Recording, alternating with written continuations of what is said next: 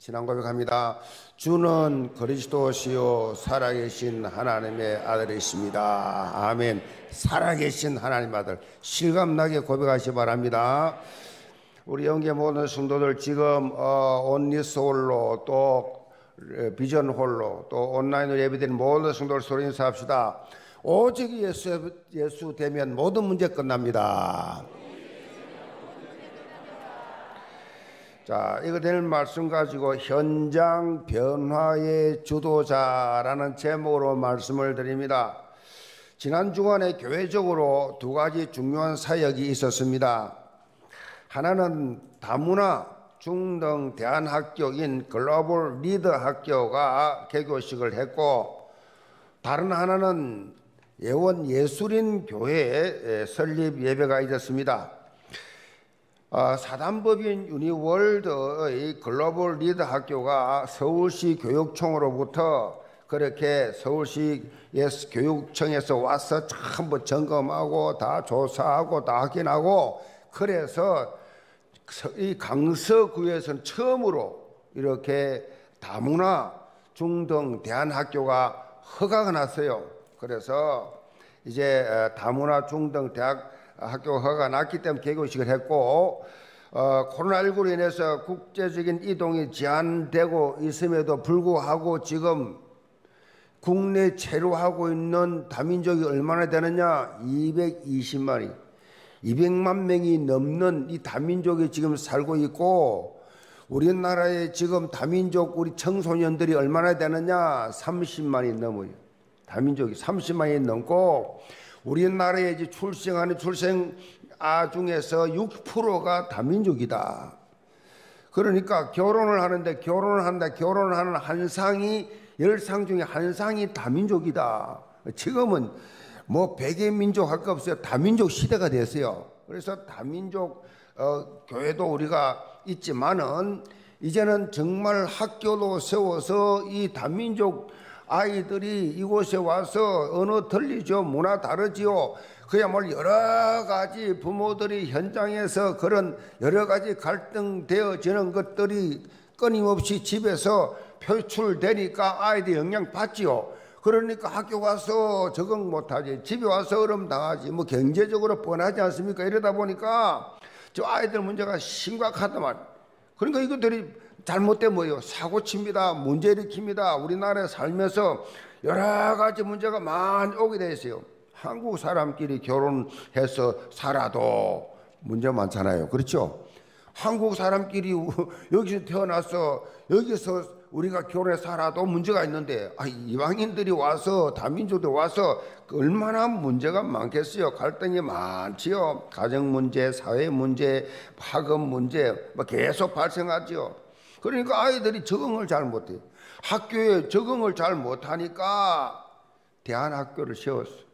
학교 적응 못하는 아이들을 우리 이 글로벌 리더 학교 지금은 문제하지만 앞으로 리더가 될 수 있는 지도자가 될 수 있는 그런 학교를 세워야 되겠다. 그래서 학업뿐만 아니라 이 아이들 속에 있는 상처 이거는 불신자들 몰라요. 학교 교사들 몰라요. 세상 지식이 몰라요. 영적 문제. 이런 상처들을 다 그렇게 치유를 해 가지고 이 영성과 전문성을 회복시켜 주는 이 글로벌 학교. 영성과 전문성을 회복시켜 주어서 출발하게 해주고 대학 당한 그 학교에 적응하지 못해서 나온 그 학교 다시 보내서 그 학교를 졸업하게 만들어주는 그렇게 회복시켜주는 일을 이제 우리 어, GLS가 하겠다라는 것입니다. 여러분 주변에 어, 이제 서울 시내라 해야 됩니다. 서울 시내 거주하는 중학생이 있거든. 그렇게 또 탈북 자녀도 마찬가지요. 탈북 자녀들 중에도 적응 못해요. 여러분 상상 외로 탈북민들이 목숨 걸고 이 땅에 이 남한에 왔다가 적응을 못 해가지고 다시 또 올라가는 비밀리 올라간 아들 사람들도 많고 또 이곳에 있으면서 어려움 당한 사람 많이 있어요. 적응 못하면 어떻게 되느냐? 나중에 우리가 피해 본다니까요. 이 아이들 적응 못하면 문제를 일으키잖아요. 어, 이렇게 중요한 것을 보면서 진성준 국회의원이 이번에 축, 와서 축사하면서 그래요. 이야, 정말로 자기가 전에 학교가 하나 비어졌는데 그거를 그 무슨 뭐 이렇게 자연 무슨 학습 학교를 만들었대요. 지금 생각하니까 글로벌 학교를 세워야 되는데 너무 잘 세웠다고 크게 축하하는 그런 어, 메시지가 있었고 이 지역에 있는 이 동원 중학교부터 교장 선생님들 싹네 명이 다 왔어요. 함께 축하하러 왔고 이번에 교장 될 어, 우리 글로벌 학교의 교장 될 분은 우리 교회 안수 집사님이시고 윤웅호 교장 선생님 이 동원 중학교 정년 퇴직한 교장 선생님 출신이에요. 그래서 다 학교와 소통이 잘 되고 있고 그래서 아이들 중에서 혹시 도태되면 여기 보내서 그렇게 교육시켜 주겠다. 소통이 잘 그렇게 되어졌습니다. 교사들이 누구냐? 싹다 우리 교회. 우리 교회에 아, 그렇게 아, 성도들이 헌신을 하게 되었습니다. 어제 우리 예원 예술인 교회를 설립 감사 예배를 드렸는데 예술인 이 교회 구성원들은 이미 우리 교회에서 모든 기관 예배를 통해서 다 그렇게 헌신하고 있는 사역자들이 대부분이에요.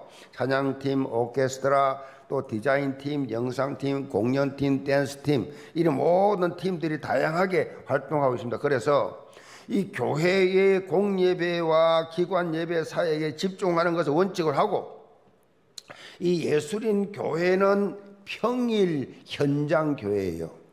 평일 날 평일 날 그렇게 현장 찾아가 그 영적 빈 곳에 있는 전문 예술인들에게 복음 증거하고 그래서 복음화 교회와 제자화 한다라고 하는 이런 어, 어, 의미를 가지고 집중 사역할 것입니다.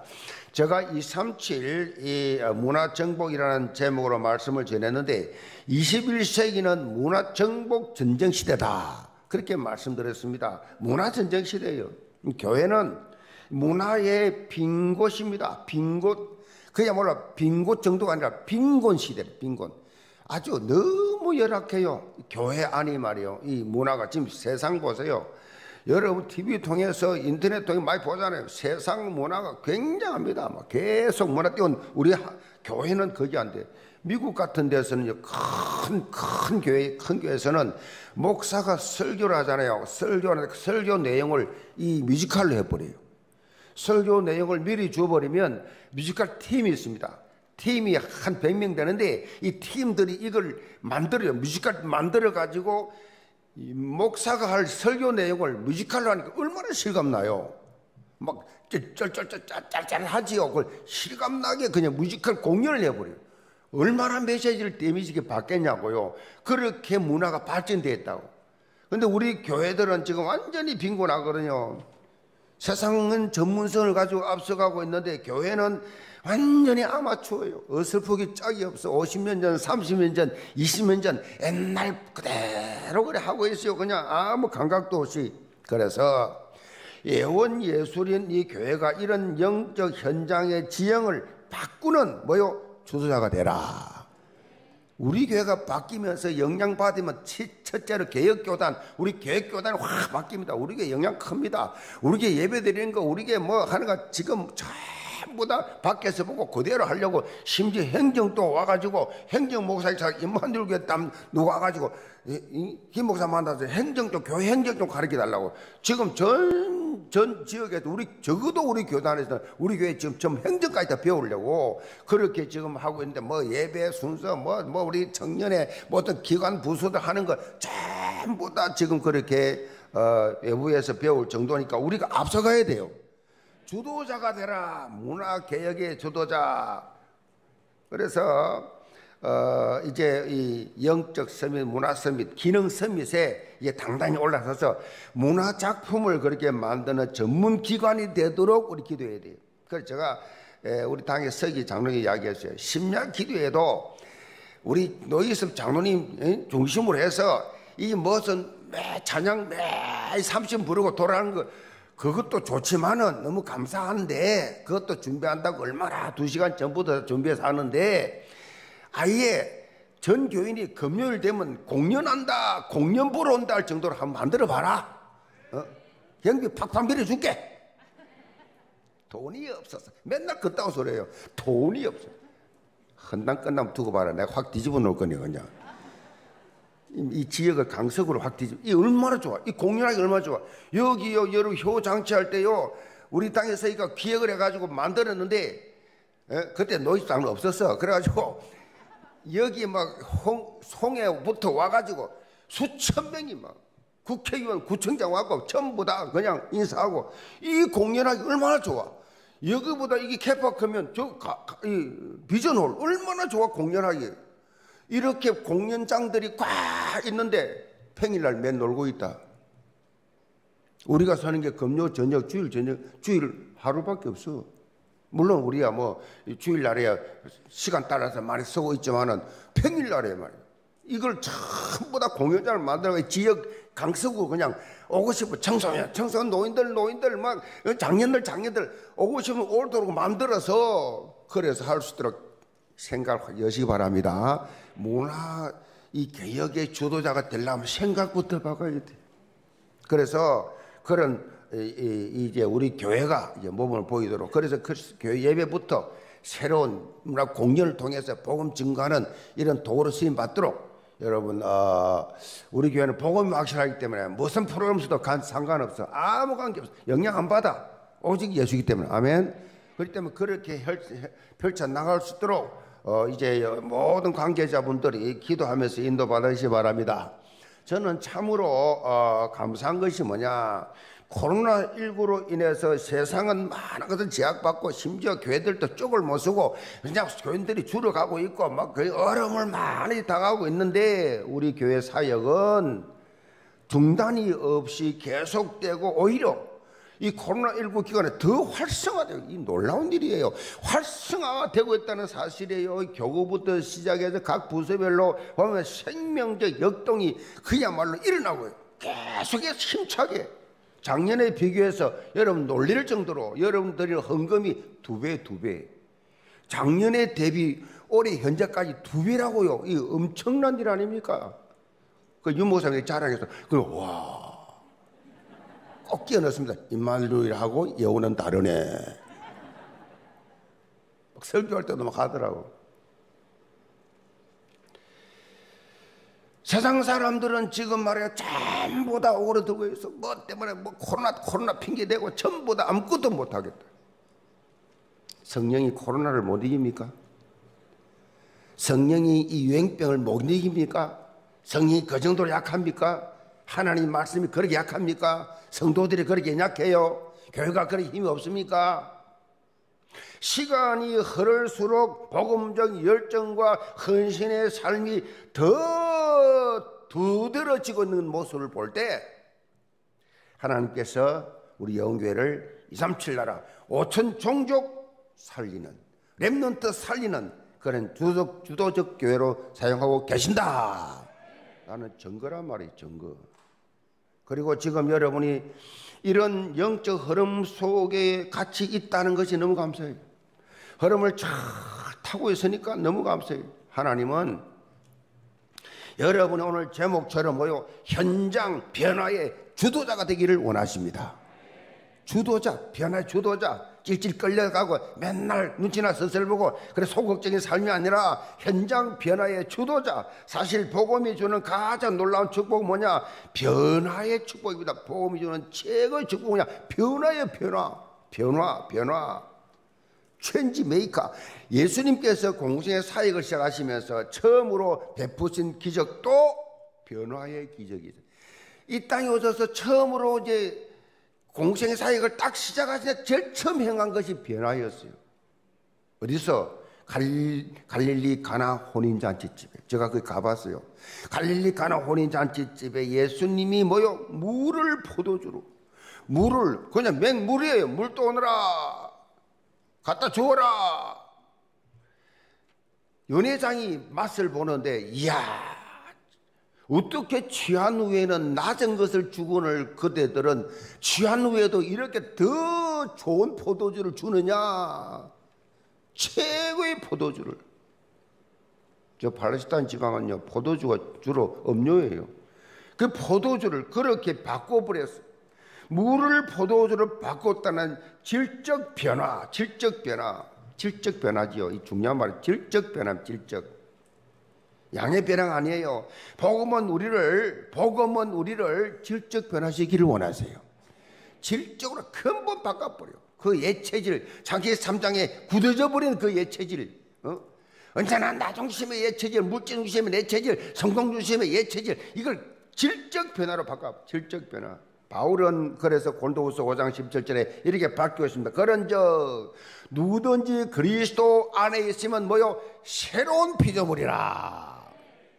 이전 것은 지나갔다. 이제 새 것이 되었도다. 질적 변화, 질적 변화. 질적 변화입니다. 새 거라, 새 거. 새 것이 되었도다. 어? 그 쿨이 나는 옛날 습관, 옛날 거, 그거, 그거 다 버리고 이제는 새로운 피조물로 변화된 존재가 바로 복음 가진 성도다. 그리고 이어지는 골도서 5장 18절 이어집니다. 우리에게 화목해 하는 직분을 주셨다 그랬어요. 새롭게 새로운 피조물로 변화되었는데 이어지는 것이 뭐냐? 화목하게 하는 직분. 직분 가지고 갈등하고 직분 가지고 그것 때문에 힘들어하고 직분 때문에 다투고 아니에요. 직분은 화목케 하는 것입니다. 화목케 아주 화목하 예수 그리스도의 십자가 대속의 부활의 복음을 통해서 하나님을 떠난 세상 불신자들을 다시금 하나님과 화목하게 하는 영적 대사의 사명 그랬어요. 참결되시 바랍니다. 뭐든지 화목하게 하소 화평케 하는 자는 복이 있나니 천국이 하나님의 아들의 그런 받을 것이며 천국이 저희 것이며 어디 가든지 화목케 하는 잘난 척하지 말고 어? 언제나 화목 고집 피우지 말고 주장하지 말고 언제나 화목케 하는. 사람을 사랑해야 돼요. 하나님 중심 보시잖아요. 하나 화목케 하는. 자 그런 사랑 늘 화목케 하는. 예수 그리스도의 십자가의 대속과 이 부활의 복음을 통해서 하나님이 떠난 자를 주께로 다시금 인도하는 이렇게 하는 불신자를 궁극적으로 하나님과 만나게 해주는 영적 화목의 대사로 쓰임 받으기 바랍니다. 이게 가장 중요한 거예요. 오늘 본문 말씀은 예수님께서 제자들에게 이런 영적 대사, 현장 변화의 주도자로 설 수 있도록 영적 체험과 깨달음을 주시는 말씀이에요. 특별히 우리가 다 잘 아는 변화산 사건으로 이 본문은 유명한 말씀이에요. 신학자들은 이 변화산 사건을 예수님의 성육신 하나님이 이 땅에 육체를 입고 오신 것 그리고 십자가의 죽으심 그리고 부활하심 그리고 성천하심과 함께 오늘 이 본문의 이 사역 이것은 그야말로 최고 5대 사역 중 하나다 그랬어요.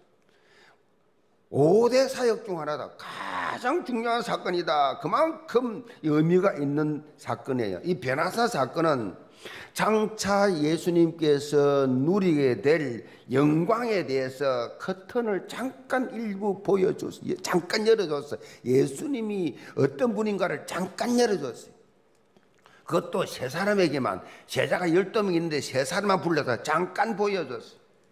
그리고 이렇게 변화된 모습을 자사들에게 보여줌으로 인해서 이들도 이들도 이 땅에서 변화된 삶을 살면서 영적 영향을 입히는 참 제자의 길을 그렇게 어, 걷도록 동기부여를 주는 말씀이 뭔가 보이려고 하는 것이 아니라 동기부여를 확 준 거예요. 내가 누군지 싹 보여줬습니다. 본문통의 예언계 전 성도들은 이 땅의 서론적인 것에 소망 두지 말고 영광스러운 미래를 바라보면서 현장 변화의 주도자들로 당당히 서시기를 제물로 축복합니다. 그럼 첫째로 오직 복음입니다. 1절 2절 봅니다. 엿새 후에 예수께서 베드로와 야고보와 그 형제 요한을 데리시고 따로 높은 산에 올라가셨더니 그들 앞에서 변형되사 그 얼굴이 해같이 빛나며 옷이 빛과 같이 휘어졌더라. 여셋 후에 이 말은 예수님이 그리스도시며 살아계신 하나님의 아들이십니다라는 베드로의 고백이 일선 후 여셋 후 그 말이에요. 이 고백은 처음 했거든요. 지상의 인류 역사상 처음 한 고백이요. 예수님이 그리스도십니다. 고백한 여셋 후에 이 베드로의 신앙 고백 본문에 이제 이 본문의 이 본문 내용은 제가 작년 창립 30 30주년 때요 16장 13절부터 20절까지 말씀을 드렸습니다. 이 신앙 고백 이후에 예수님께서 제자들에게 처음으로 십자가의 죽음과 부활을 처음으로 말씀하셨습니다. 그리고 나서 예수님께서 제자들 가운데서 베드로, 야고보, 요한 이 세 사람을 데리고 높은 산에 올라갔다 그랬어요. 본문에는 왜 산에 올라갔는지 밝히고 있지 않는데 누가복음 9장 28절에 보면 기도하러 산에 올라가시니 그랬어요. 기도하러 산에 올라가셨어요. 그런데 예수님께서 기도하실 때에 갑자기 그 모습이 확 변형이 됐어요. 이 제자들이 기도하다 본 거예요. 변형되다. 이 말은 원어에 보면 메테 모르테스라는 헬란 말인데 이 말은 단순히 외형적인 모습의 변형뿐만 아니라 본질적 형상이 바뀐 예수 그리스도의 신적 신비 예수님이 하나님인 것을 그 신적 본질을 딱 보여준 겁니다. 마태는 예수님의 이 얼굴이 해같이 빛나고 그래서 옷이 옷이 빛과 같이 휘어졌더라. 마태는 못 봤어요, 사실은. 어떻게 적었습니까? 베드로, 야고보, 요한 통해서. 예수님이 어떻게 변형되었는지에 대해서 이걸 듣고 말을 듣고 묘사를 한 것입니다. 지금까지는 제자들이 자신들과 똑같은 육신의 옷을 입은 예수님만을 봤는데 지금은 하나님 나라 계실 때 예수님의 모습을 본 거예요. 빌립보 2장 6절에 보면 예수님은 원래 뭐요? 하나님의 본체라 그랬어요. 하나님의 본체라. 예수님은 원래 하나님이시고 이 영광된 형체를 가지신 분인데 베나산에서 변형됐다는 것은 이미 예수님의 신성을 완전히 그렇게 드러난 장면이었어요. 잠깐 보여준 겁니다. 예수님의 변형된 사건은 중요한 영적 의미가 있어요. 무엇보다 장차 십자가 사건 이후에 임하게 될 부활 그리고 성천 그리고 재림의 영광스러운 미래를 그렇게 마치 영화의 한 예고편처럼 살짝 그렇게 보여준 것입니다. 예수님이 인류를 구원하실 메시아인 것을 제자들에게 확실하게 그렇게 심어준 겁니다. 보여준 것입니다. 특별히 본문 3절에 보면 변형되신 예수님께서 모세와 엘리야와 함께 이야기하고 계셨다라고 말씀하고 있습니다.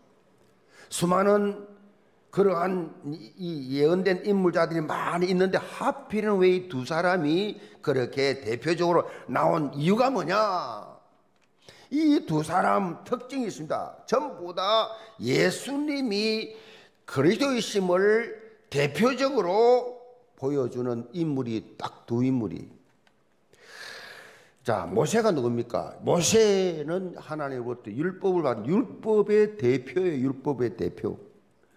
그런데 갈라디아 3장 24절에 보면 율법은 우리를 예수님께로 인도하는 초등교사 몽학 선생이다. 그렇게 표현했어요. 율법을 지킴으로써 구원 얻는 사람은 지구상에 아무도 없다.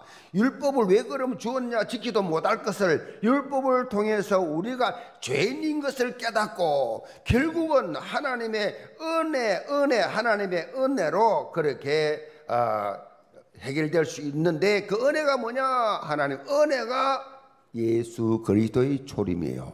예수 그리스도가 오셨다. 예수 그리스도 밖에 없다. 예수 그리스도 외에는 구원을 받을 수 없다. 그것을 가르쳐 주는 것입니다. 그리고 엘리야로 대표하는 선지자가 이 한 이 예언의 핵심이 뭐냐? 계속해서 장차 오실 메시아, 장차 오실 메시아, 이 그리스도를 말했어요. 엘리야.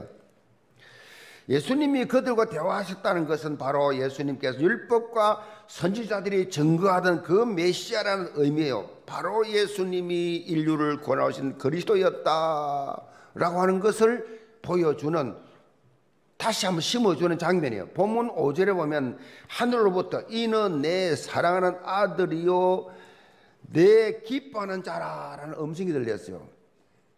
자, 예수님께서 공생의 사역을 공식적으로 시작하실 때에 세례 받을 때, 받고 일어날 때 한 똑같은 음성이요. 이는 내 사랑하는 아들이요. 내 기뻐하는 자라. 똑같은 음성이 동일하게 여기서 또 나왔어요.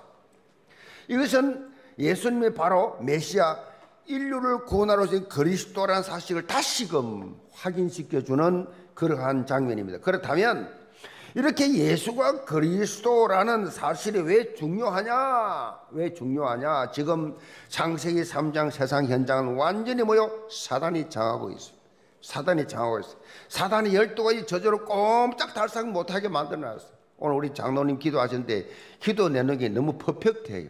근데 기도해서 하나님 이 말씀 그대로 기도한 그대로 하나님 받으시고 그대로 우리 교회 임하게 하여 주옵소서.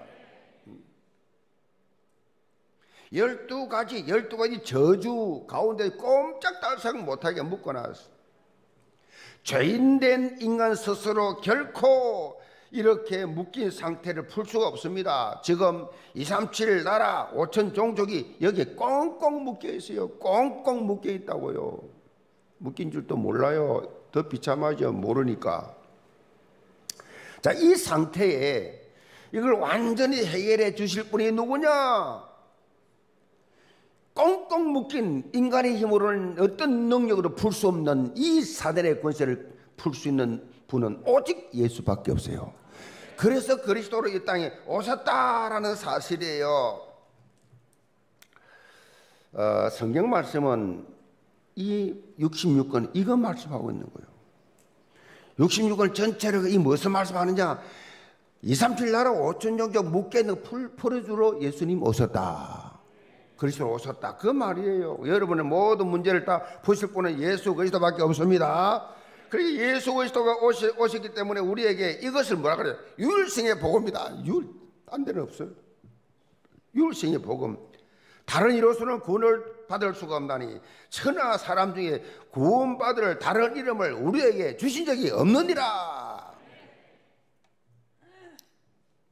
따라서 오직 예수. 항상 예수. 완전한 예수. 아멘. 영원한 예수. 그 돼야 돼요. 오직 예수 돼야 됩니다. 요 밖에 없다니까요. 그래서 오직 복음, 오직 그리스도 이걸 우리가 죽을 때까지 강조하는 겁니다. 반복 아니에요. 생명이에요. 아멘. 들을 때마다 가슴이 빵빵 뛰어야 돼요. 예수님이 배행되신 것은 예수 그리스도 예수가 그리스도이심을 강조하는 것인과 함께 제자들에게 용기와 소망을 주는 그런 장면이 앞으로 제자들의 걸어갈 길이 가스밭길입니다. 그야말로 앞으로 예수님 성천하고 나면 사역할 일 사역 길이 고통 그 자체이기 때문에. 육체가 가지기 때문에 엄청나게 다 당할 다 보고 있어요. 예수님이 너희들이 앞으로 전부 다 죽어요. 전부 순교당합니다. 100%다. 그 죽는 길을 가는 그 육체, 육체가 순교다는 그 길을 뻔히 보고 말씀하시고 이런 걸 봐야 힘을 얻고 어떤 어려움 와도 이게 나가지 않겠냐는 얘기예요. 모든 걸 넘어설 수 있는 힘을 주시기 위해서 베드로를 비롯한 제자들이 예수님의 성천 이후에 사역을 하면서 당할 고난과 역경, 그 많은 죽음과 위기 가운데 처했을 때 이 영광을, 이 장면을 생각했을 것이다. 사도행전 12장에 보면 베드로가 예수가 그리스도라고 증거하다가 잡혔어요. 잡혀가지고 감옥에 갇혀서 사형받았어요. 죽을 위기에 이제 내일이면 사형입니다. 헤롯이 죽입니다. 이미 야고보가 먼저 순교하고 그 다음 순서가 베드로예요. 베드로, 야고보, 요한 이렇게 순서대로 야고, 야고보 순교 당했고 이제 베드로예요. 그런데 감옥 안에서 내일 사형인데 태연히 잠을 잤어요. 교인들은 지금 교회에서 지금 내일 사형당하는 베드로를 해서 철하기도 하고 있는데 베드로는 푸근하게 잤어요. 자, 기도를 들으신 하나님께서 천사를 보내서 이 베드로의 옆구리를 찹니다. 일어나라고 옆구리를 차서 깨울 정도로 깊이 잠들었더라. 그 이유가 어디 있어요? 이 베드로는 베나산의 체험이 그 바탕이 되어 있었어요. 예수님께 가면 음, 예수님의 그 영화로운 모습 그리고 사도 바울이 빌립보 3장 21절에 강조하고 있듯이 우리들도 예수님이 가졌던 영광의 몸의 형체로 변하게 된다라고 믿고 있어요. 여러분도 그렇게 됩니다. 아멘. 영광의 모습으로 변화됩니다. 영광의 모습 변화. 지금 모습 아니에요. 지금 모습이 아니라고요. 우리 농인들 아니에요. 천국 가면 다 여러분 영광스러운 모습으로 변화됩니다. 우리 아들이 어릴 때 그래서 아빠 천국 가면 농인 없지 그래. 천국 가면 농인 없지. 가난도 없습니다. 질병 장애 없습니다. 천국 가면 다 회복됩니다. 원래 모습으로 다 회복이 된다고. 영광스러운 내세가 완전히 보장되었다는 확신이 있었기 때문에 죽음의 위기가 찾아와도 태어날 수 있었어요. 제가 구세군 장시, 장시자 윌리엄 부스 윌리엄 부스가 살아 생전에 사람을 만나기만 하면 먼저 내뱉는 말을 제가 말씀드리겠습니다. Are you still burning? 언제나 당신 가슴속에 불타고 있는가? 여전히 당신 가슴속에 복음의 열정이 불타고 있는가? 늘 그렇게 물어요. 만나서, 만난 사람마다 Are you still burning? 당신 속에 복음의 열정이 지금도 불타고 있는가? 이런 뜻이죠. 작년까지 제가 불탔는데요. 올해는 코로나 때문에 너무 경제가 어려워서 불이 다 식었네요. 그렇습니까? 코로나가 그렇게 복음보다 위대합니까? 물질이, 가난이, 질병이, 장애가 여러분을 실망시키고 낙담시킵니까? 하나님의 자녀가 된 자로서, 복음 가진 자로서, 복음을 깨달은 자로서 그 가슴에 복음에 대한 열정 계속 불타오르고 있느냐는 것입니다. 불타오르고 있습니까? 아이고 나는 나이가 많았어. 아이고 나는 뭐 좀 행편이 안 좋았어. 그건 하나님이 죽었다는 말이에요. 극단적으로 나 예수 잘 모르겠다는 얘기예요. 심각한 말입니다. 죽음 앞에서도 태연히 잠자는데 담난 사람의 모습이에요. 결론 낸 사람의 모습이에요. 어떤 영향도 받지 않습니다. 복음 가진 자가 누릴 축복이 뭐요? 보좌의 축복입니다. 보좌의 축복은 24, 25 영원에 이 놀라운 응답이 임하는 것이에요. 나의 한계, 문제, 사건, 모든 환경, 형편을 초월하는 응답이에요. 그러면 끝나는 거 아닙니까? 영계 모든 성도들. 날마다 심하다 보좌의 축복을 누리는 응답, 하나님의 스케일을 체험하는 응답의 정인들 다 되시기를 제물로 축복합니다. 두 번째로 살리는 집중입니다. 자, 사절 봅니다. 베드로가 예수께 여쭈어 이르되 주여 우리가 여기 있는 것이 조사원이 만일 주께서 원하시면 내가 여기서 초막 셋을 짓되 하나는 주님을 위하여 하나는 모세를 위하여 하나는 엘리야를 위하여 하리다. 지금 베드로가 제정신이 아니에요. 변형된 예수님이 모세와 엘리야와 더불어 대화나 모습을 보았던 베드로가 자신의 주특기인 충동적 말이 또 나옵니다. 우리가 여기 너지 조사오니 예수님의 변형된 그 모습과 영광을 보니 이 자리를 떠나고 싶지 않는 거예요. 이야, 여기가 천국이구나. 나 여기 있고 싶다. 마치 한 달란트 받은 자가 땅에 그 달란트를 묻어 둠으로 인해서 약하고 게으른 종아 책망 받은 것처럼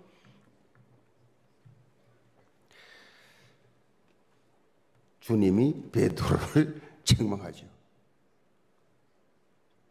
각종 달란트를 주었는데 그 달란트를 다른 사람과 비교해 비교해 그러다가 다 날려버려.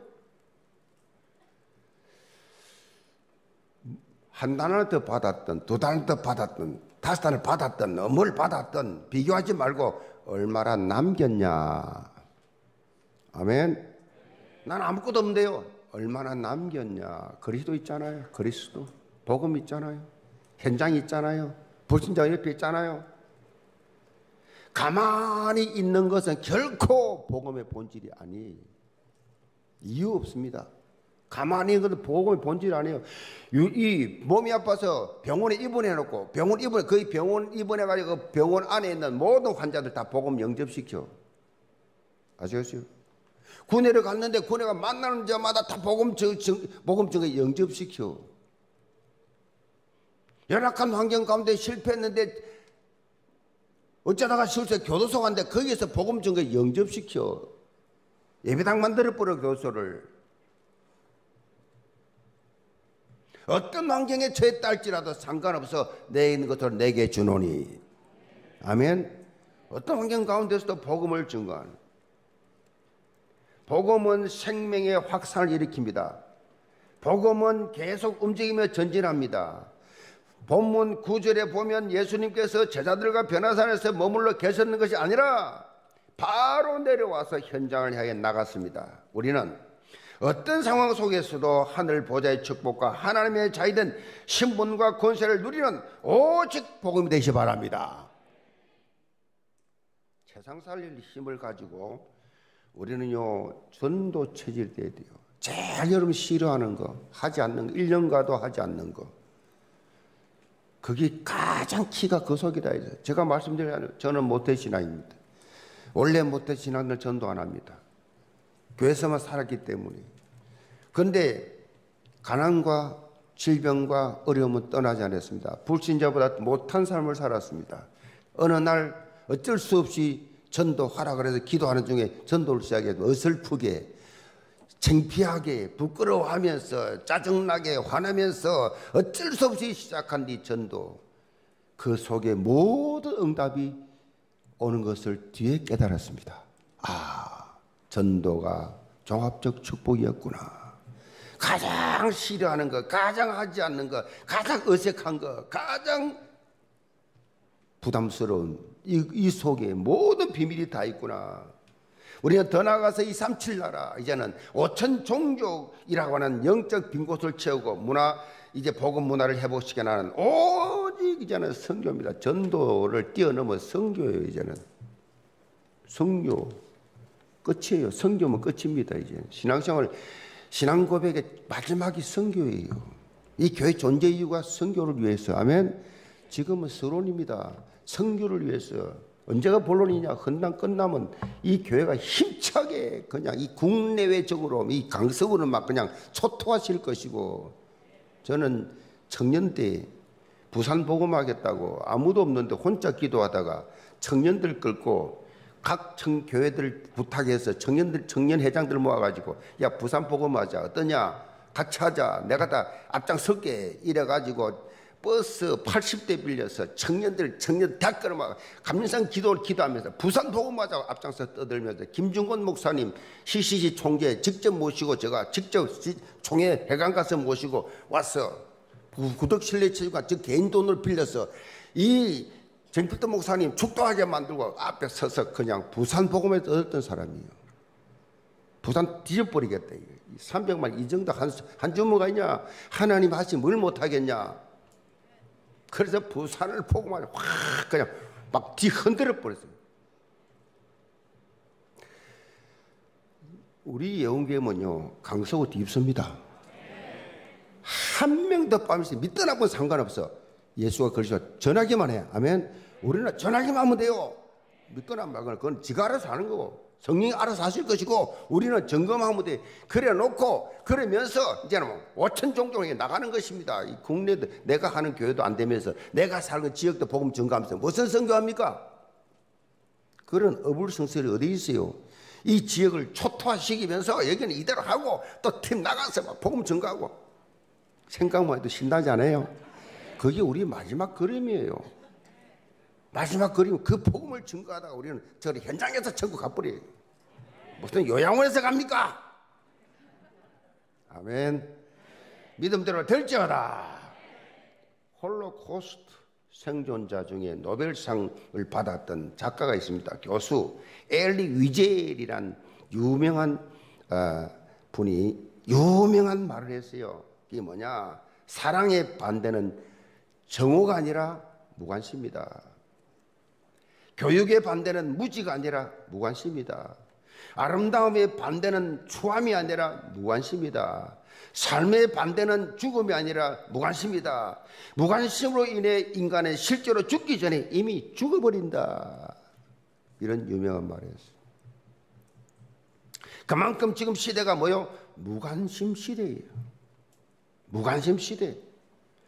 이 무관심이 난 것이 질병 시대, 정신병 시대입니다. 정확한 답을 주지 못하니까 3단체가 일어나서 답을 주는 것 같으면 속에서 더 심각한 상태로 이 세상을 지금 만들고 있습니다. 사단이 다 장악해 버린 거예요. 이, 현장, 이 세상 현장을. 우리는 이런 현장의 영적 상태를 오직 복음으로 바꾸고 살리는 이 일에 집중해야 된다. 내 문제 걸려가지고 내 문제 내 집 문제, 내 생의 문제, 죽을 때까지 해결 안 돼요. 그 죽을 때까지 계속 문제가 있어요. 완벽할 수가 없어요. 복음 위에는. 영계 모든 성도를 속지 마시고 살리는 데 집중하며 2, 3, 7 나라 5천 종족 살리는 0.1%의 사람 다 되시기를 제으로 축복합니다. 결론입니다. 경찰관과 소방관이 서로 싸우면 누가 이길 것 같아요? 얼른 생각하면 강도 잡는 경찰관이 이길 것 같지요. 그런데 소방관이 이긴답니다. 그 이유가 뭐냐? 참 이유가 재밌어요. 소방관은 물불을 가리지 않는다.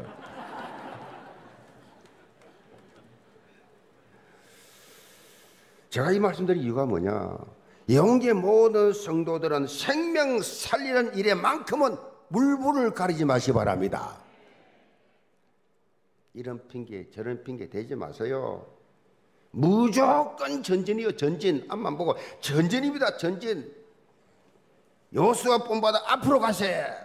그렇게 될 때 사단의 무릎 꿇고 한 길로 왔다가 일곱 길로 도망가는 역사가 나게 되었어요. 다 물러갑니다. 질병도 물러가고 이 저주도 물러가고 부정도 물러가 다 물러가 그냥 어둠 다 물러가 어둠 세력 본문 오지를 보면 구름 속에서 이런 음성들입니다. 이는 내 사랑하는 아들이요 내 기뻐하는 자라 너희는 그의 말을 들으라. 예수님의 말씀을 듣는 것이 뭡니까? 결국 주님을 따라 제자 길로 걸어가는 것이 말씀 순종이요. 제자 길로 걸어가는 제자 길을 걷는 겁니다. 현장 변화의 주도자로 그리스도 절대 제자로 서야 되는 것입니다. 영경모도 성도들 이런 제자 비전을 같이 품고 현장 변화의 주도자로 전도와 선교의 237 작품을 만드는 그런 증거 있는 정인들 다 되시기를 제물로 축복합니다. 기도합시다. 아버지 하나님, 우리 영계 모든 성도들 살고 있는 삶의 현장에서 현장 변화의 주도자들로 다 사용하여 주옵소서. 가정에서 직장에서 사업장에서 지역에서 그 현장별의 주도자로 쓰임받고 2, 3, 7 나라에 5천 정도 살리는 정인으로 쓰임받는 정인들이 다 되게 하여 주옵시고 어떤 변명도 하지 말고 어떤 핑계도 하지 말고 절대 주권자 하나님 말씀 따르며 그리스도의 이 어마어마한 이 비밀을 날마다 간직하며 증거하는 정인들이 되게 하여 주옵소서. 예수 그리스도는 받들어 기도합나이다. 아멘